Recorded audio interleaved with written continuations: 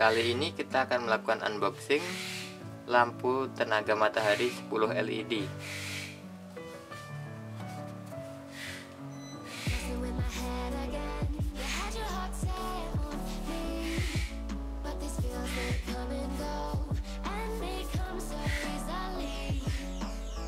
Langsung saja kita buka.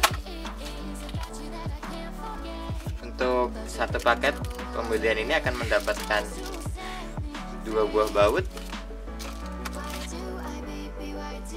satu buah kabel penghubung panel surya,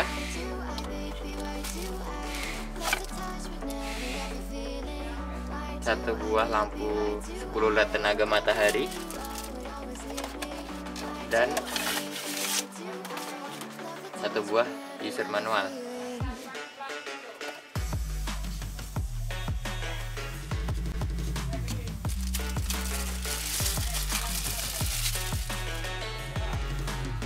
Untuk lampunya seperti ini.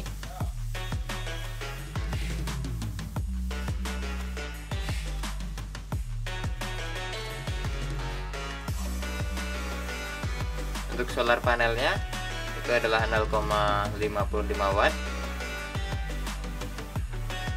Di bagian solar panelnya juga terdapat sensor cahaya. Jadi ketika kondisi cahaya terang akan otomatis mematikan lampu dan jika kondisi cahaya gelap akan otomatis menyalakan lampu. Untuk sensitivitas cahayanya itu kurang dari 10 luxian jadi ketika di bawah 10 luxian lampu akan otomatis menyala. Sini juga ada sensor gerak.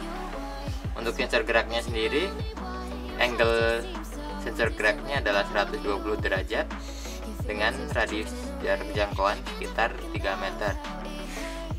Di sebelah sensor gerak ini adalah tombol power untuk menyalakan lampu. Untuk menyalakannya ditekan sekitar 3 sampai 5 detik. Lalu ini untuk lednya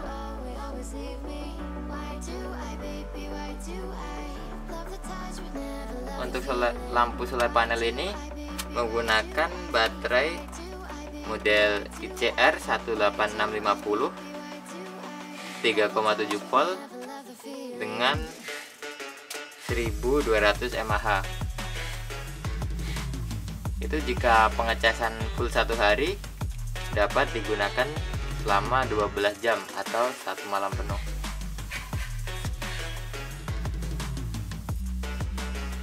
untuk kabel ini. Itu panjangnya adalah 2 meter setengah atau 250 cm dapat digunakan jika lampu ingin digunakan dalam rumah dan solar panel di luar rumah. Untuk penggunaannya yaitu dengan cara melepas solar panelnya didorong ke belakang seperti ini. Lalu ini ada sambungan kabelnya dilepas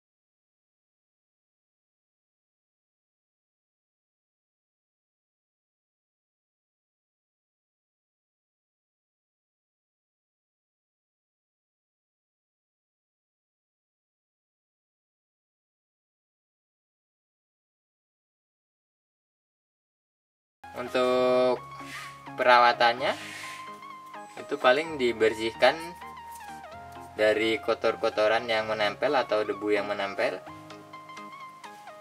Dan jika misal untuk lampu ini sudah tidak digunakan atau tidak dipakai sekitar kurang lebih tiga bulan charger terlebih dahulu dengan cahaya matahari penuh selama satu hari agar baterai dapat mengisi kembali. Jika baterai dirasa sudah tidak cukup kuat untuk menyimpan daya, itu bisa melakukan penggantian baterai dengan cara melepas empat buah baut yang di sini, baut yang di lampu LED, bukan di yang di solar panelnya untuk baterainya bentuknya seperti ini. Model ICR 16 18650 3,7 volt